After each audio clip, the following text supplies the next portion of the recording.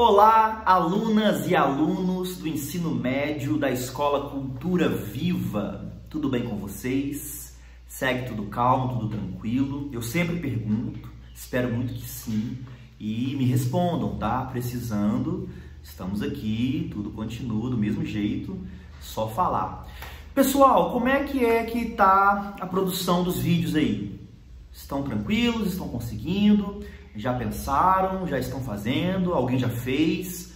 Qualquer dúvida me procurem, tá? Se atentem aí, quem, quem tá boiando e não tá sabendo ainda, assistam os vídeos anteriores, se informem com os colegas, tá? Pra gente começar a produzir, é, eu vou lançar lá no, no Google Sala de Aula a data limite para postar, para que haja tempo de eu assistir, né? Avaliar, dar um retorno para vocês, tá bom? Então fiquem, fiquem atentos aí, qualquer coisa, falem comigo.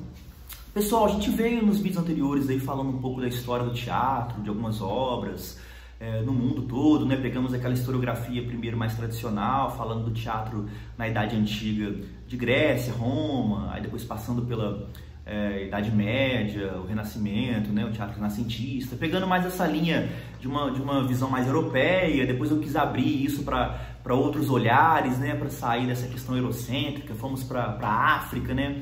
é, conversamos um pouco sobre algumas regiões africanas com os griots, não é isso? É, falamos um pouquinho da América Latina, do Brasil, né? Eu falei para vocês, a gente teve um vídeo sobre o teatro brasileiro, né? Um resumo da história do teatro brasileiro, desde sua origem até o teatro contemporâneo, passando pelo aquele momento do teatro arena, do Augusto Boal, né? Um momento fortíssimo, importante para a história do teatro brasileiro. E aí eu quero agora, eu quero agora me atentar a algumas obras Vou trazer para vocês algumas obras latino-americanas também de fora do Brasil e nossas aqui, né, como partes da América Latina que somos, não é isso? Sempre bom lembrar.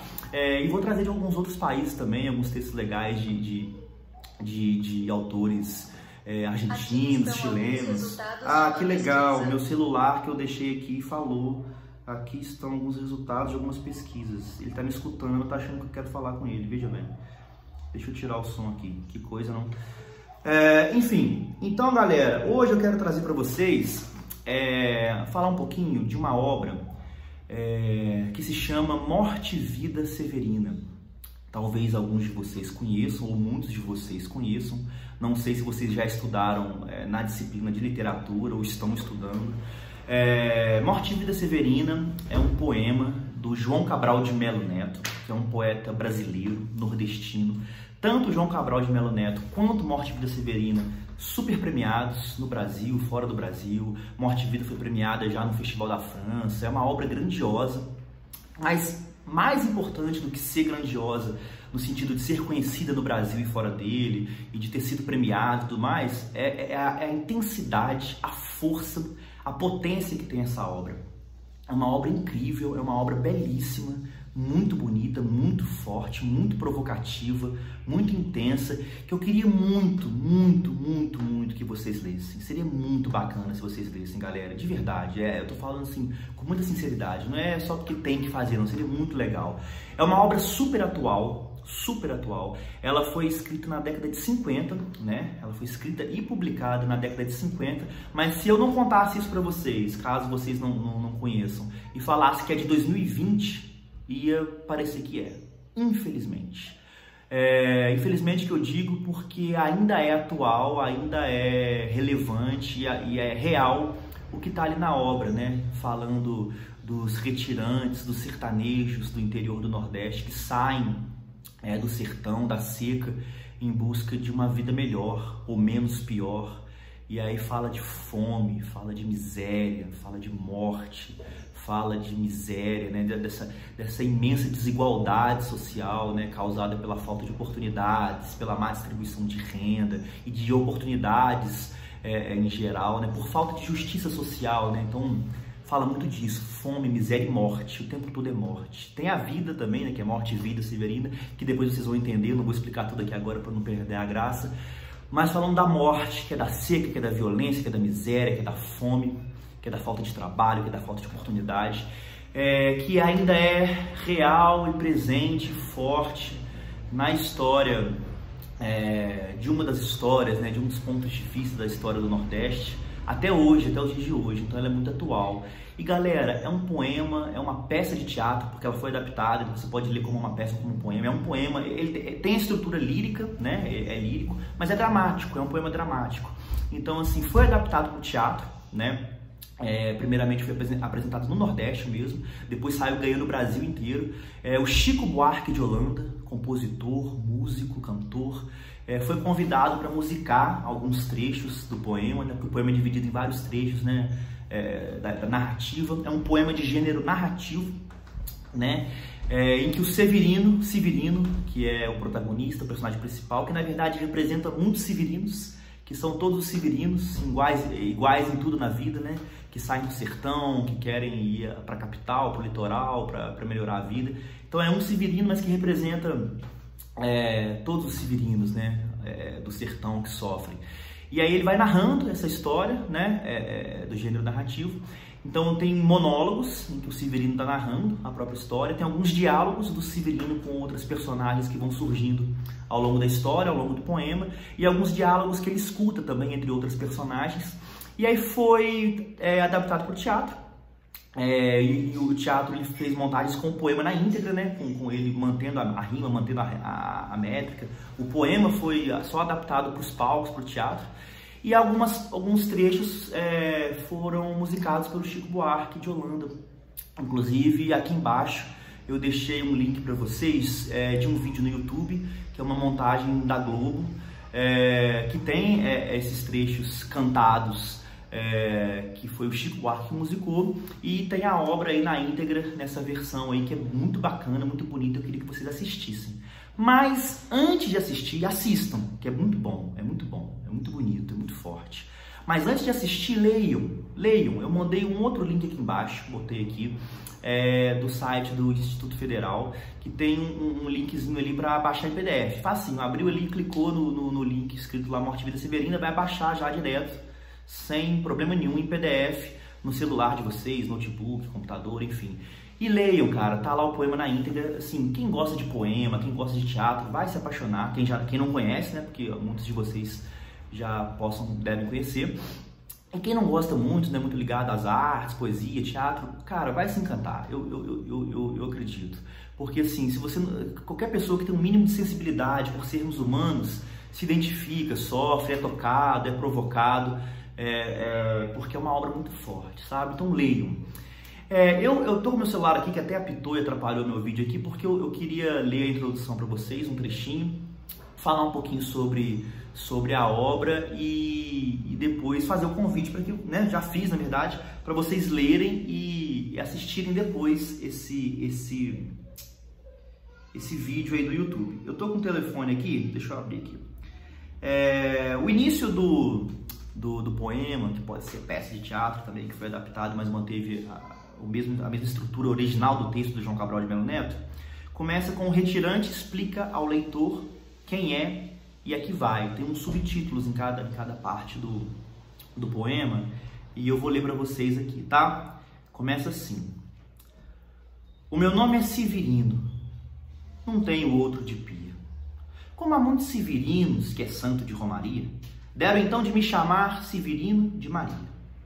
Como há muitos severinos com mães chamadas Maria, fiquei sendo da Maria do finado Zacarias.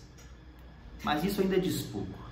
Há muitos na freguesia por causa de um tal coronel que se chamou Zacarias e que foi o mais antigo senhor dessa Sesmaria. Como então dizer quem falo, ora vossas senhorias? Vejamos. É, é o Severino, da Maria, do Zacarias, lá da Serra da Costela, limites da Paraíba. Mas isso ainda diz pouco. Se ao menos mais cinco havia com o nome de Severino, filhos de tantas Marias, mulheres de outros tantos de afinados Zacarias, vivendo na mesma serra magra e ossuda em que eu vivia. Somos muitos severinos, iguais em tudo na vida, na mesma cabeça grande que a custa que se equilibra, no mesmo ventre crescido sobre as mesmas pernas finas, e iguais também porque o sangue que usamos tem pouca tinta e se somos severinos iguais em tudo na vida, morremos de morte igual, mesma morte severina, que é morte que se morre de velhice antes dos 30, de emboscada antes dos 20, de fome um pouco por dia. de fraqueza e de doença, que é morte severina, ataca em qualquer idade e até gente não nascida. Somos muitos severinos, iguais em tudo e na cima, a de arrebentar estas pedras suando-se muito em cima, a de tentar despertar terra sempre mais extinta, a de querer arrancar alguns roçados da cinza. Mas para que me conheçam melhor, vossas senhorias, e melhor possam seguir a história de minha vida, passo a ser o Severino, em que vossa presença emigra. É uma apresentação, né, que a personagem fala quem é para dar a, a, a, introdução da obra. E a obra é toda assim, né, toda nessa mesma métrica, que vai levando a gente no embalo ali e vai contando essa trajetória é, desse retirante que sai da Caatinga, né, vai passando pelo Agreste, Zona da Mata, até chegar no litoral, né, até chegar na capital, Recife, né, a história se passa em Pernambuco, em que esse retirante vai buscando viver, buscando soluções para sua vida, sobreviver, se alimentar, comer, vestir, né, ter condição de ter uma vida. E aí vem uma parte logo depois que logo no início da caminhada ele já encontra dois homens carregando um, defunto numa rede ele vai perguntando, né, é, de que, que aquele, de que aquele cara morreu e aí descobre que é de, de, de, emboscada, né, de bala, porque ou é de fome ou é de, ou é de, de bala, né, é a morte sempre presente. E aí passa primeiro por esse essa primeira morte aí fala da, da violência, é, e, era um, e era um cara que não tinha nem muito território, era um pedacinho de nada, que ele plantava palha no meio das pedras, é, tudo com muita dificuldade, mas mesmo assim foi pego uma emboscada, mesmo assim foi morto, sabe? Vai falando um pouco disso. Não vou ficar lendo, não vou ficar entrando em detalhes, porque eu quero que vocês leiam e depois vão assistir o vídeo, senão vai perder a graça. Estou só mais ou menos estruturando para vocês entenderem. Depois vem uma parte em que o, o retirante, né, o Severino, ele se encontra com o rio, né, o rio Capibari, porque ele vai seguindo, e aí ele não quer se perder, né? Então ele vai falando, ele vai, comparando as cidades como contas de um, de um, de um, de um terço, né? De um, de um rosário. E, e, as vilas, né? Como se fossem contas a caminho de chegar no final lá, que seria o litoral, que seria o mar, que seria o Recife. Então ele vai brincando com isso, brincando não, né? ele vai construindo essa, essa ideia de não se perder, comparando a cidade com as contas e tudo mais. Aí ele chega depois é, numa cidade lá, numa região que mais uma vez tem um defunto sendo enterrado, aí começa a, a, a, cantar as excelências do defunto, vai contando a história dele, mais uma vez mostrando a dificuldade, a miséria, a desigualdade social, de mais uma pessoa que morreu é, vítima de toda essa opressão, de toda essa desigualdade, é, de toda essa crueldade da, da, da, história desses retirantes aí. E aí depois ele está um momento cansado da viagem, ele começa a querer interromper é, e procurar trabalho, né? Começa a ver que está muito difícil, ele começa a querer procurar trabalho para sobreviver, ver se ele se arranja ali pelo caminho e começa a procurar. E assim, é tudo, não tem oportunidade, é, não, o que ele, o, tudo que ele aprendeu de, de, de, a vida toda de roçar, mesmo com dificuldade, aquela terra seca que quase não dá para plantar nada, não serve de nada porque só tem morte, só tem, só se vê morte. E aí ele, ele até encontra uma mulher na janela é, durante o caminho que ele quer pedir, se ele não consegue trabalhar, se ele não consegue arrumar algum, algum, alguma ocupação, e ela fala que é só se for com a morte, só se for para rezar, se aprender a rezar, cantar as rezas, porque tudo que ele sabe de lavrar, e a bateria ficou fraca, peraí, voltou. E tudo que ele sabe de lavrar a terra e tudo mais, é, ali não serviria. E ele vai seguindo a jornada, né? Ele, ele vai descendo. Se aquela caminhada sempre muito difícil, sempre muito puxada, até que ele chega na zona da mata. Quando ele chega na zona da mata, começa um fio de esperança, porque aí ele vê aquela terra fofa, aquela terra macia, aquelas plantações de cana interminável, que ele vê cana, cana, cana, cana, até perder de vista, aquela terra verde, fofa. E ele acha, olha, né, então não era mentira o que diziam, aqui vai ser mais fácil para quem está acostumado a plantar planta braba, né, no meio da, da, da, seca, da terra, das pedras, isso aqui vai ser mais fácil de amansar. E aí vem aquele brilho nos olhos, aquela esperança que sempre, sempre tenta se manter durante a caminhada. Só que aí ele chega lá, ele se encontra com os latifúndios, né?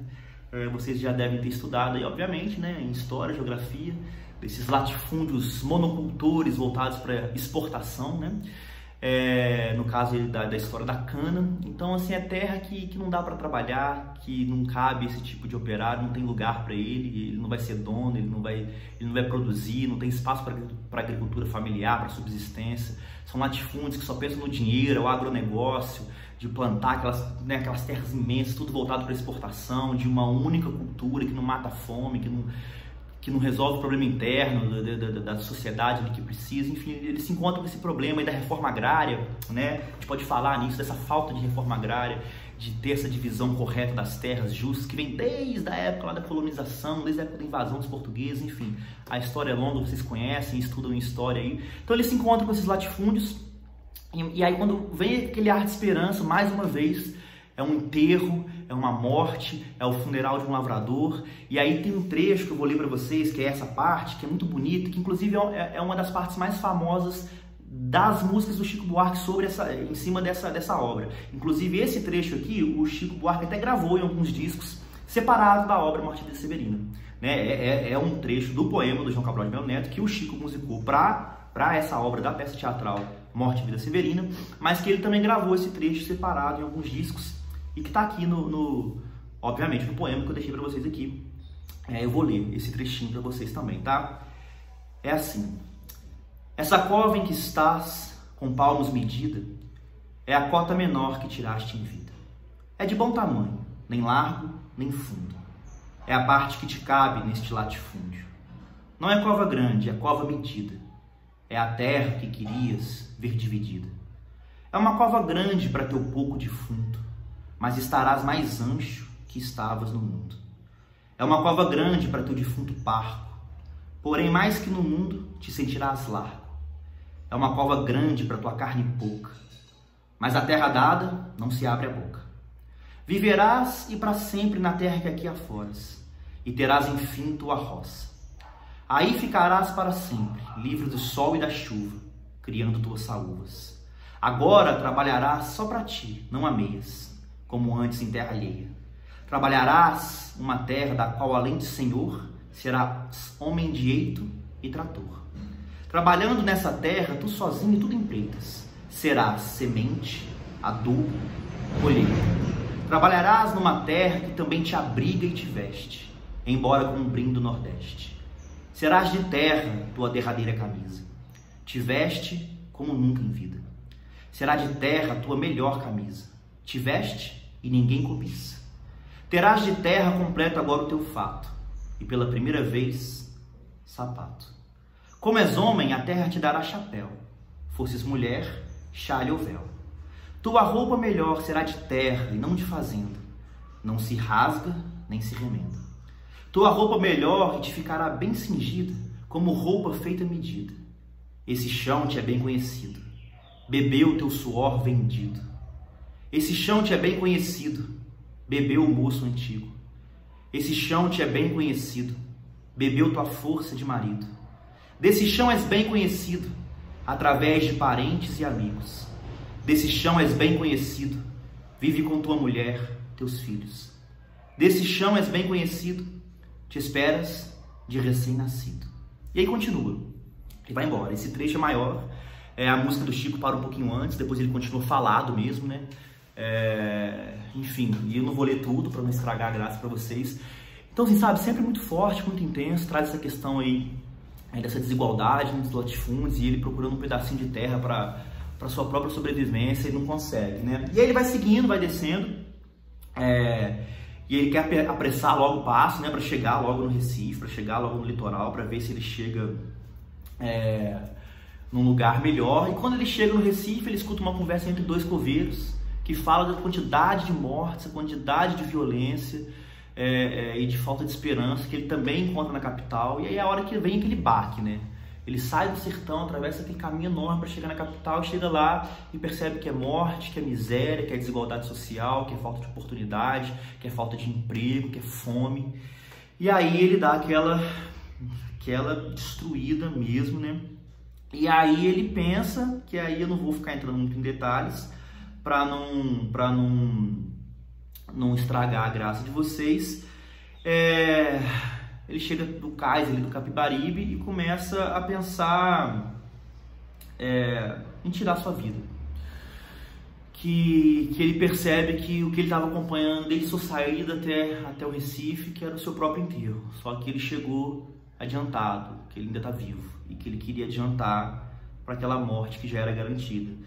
Então, ele, ele, ele quer tirar a vida e aí ele encontra com o mestre Carpina, que é um, um trabalhador, um morador ali do, dos mangues ali, né, da, daquela região do cais ali de, de Recife, que começa a conversar com ele. Aí eu não vou contar a conversa, né?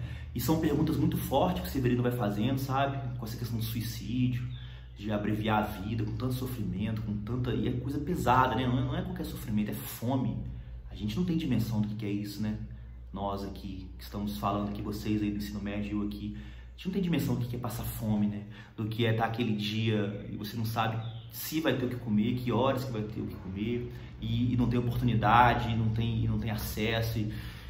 Então, assim, é uma discussão muito pesada, ele começa a fazer muitas, muitas perguntas para o mestre Carpina, que tenta responder, que tenta ajudar. E é um diálogo muito forte, muito intenso, muito bonito, que eu não vou ler para vocês, que é importante que vocês leiam depois.